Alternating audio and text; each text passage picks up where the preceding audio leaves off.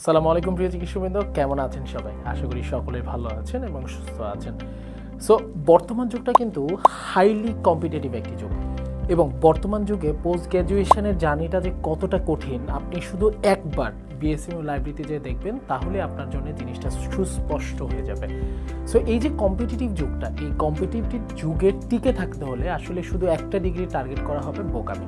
So আপনার যেটা করা উচিত এফসিপিএস এবং রেসিডেন্সি এই দুইটা একসাথে মার্চ করে একটি গুছানো প্রিপারেশন নিলে আপনি দুই দিকেই সেফ থাকবেন। এবং সবচেয়ে মজার ব্যাপার হচ্ছে, দুটোতেই কিন্তু প্রিপারেশনের অনেক মিল রয়েছে, যেটা অন্য আরেকজনের থেকে যিনি শুধু একটা প্রিপারেশন নিচ্ছে, ওনার থেকে আপনাকে অনেকটাই আগিয়ে রাখবে।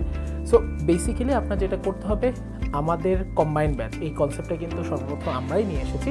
সো কম্বাইন ব্যাচে আপনি যদি জয়েন করেন, তাহলে কিন্তু খুব সহজেই আপনি এই দুইটা প্রিপারেশন নিতে পারবেন। এবং আমাদের নতুন যে কম্বাইন ব্যাচটি শুরু হতে যাচ্ছে এটা টার্গেট হচ্ছে দুটো। একটি হচ্ছে নভেম্বর রেসিডেন্সি এবং আরেকটি হচ্ছে January FCPS so basically join করে ফেলুন। আমাদের সিনাস মেডিকেল একাডেমির একটি branded batch that is combine batch target আবারও বলছি দুটো, একটি হচ্ছে FCPS January and November residency সবাই ভালো থাকবেন সুস্থ থাকবেন। দেখা হবে নেক্সট কোনো ভিডিওতে ধন্যবাদ।